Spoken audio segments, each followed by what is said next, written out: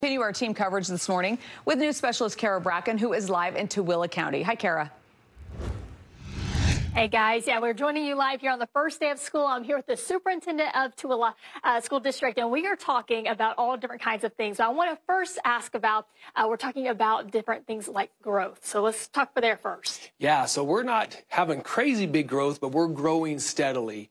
Uh, so much so, we're going to be opening two new schools next school year, so we're getting ready for that.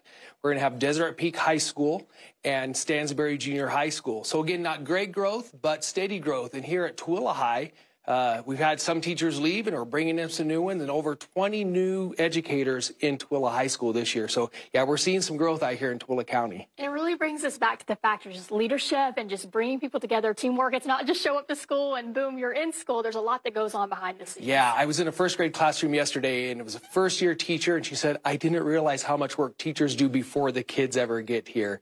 And there's so much work by our teachers, our bus drivers to learn their routes, our custodians to get the, the buildings ready and our administrators that it really is, it's a lot of work before the kids ever show up, but we're excited to have them here today. And it's important that the kids, they're in school, right? There's so many different things we, we can be doing, but school is so important. Yeah, absolutely. They're not going to learn if they're not with us. And, and we're convinced that if they're in class with us, they're going to go away with the education they need.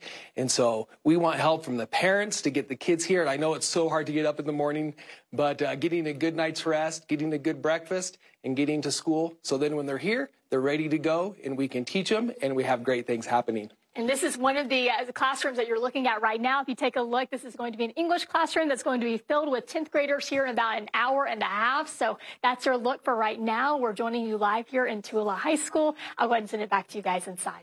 All right, Kara, it's exciting uh, out there in Tooele. Good morning, everybody in the Tooele Valley uh, getting back to school That's today. Right.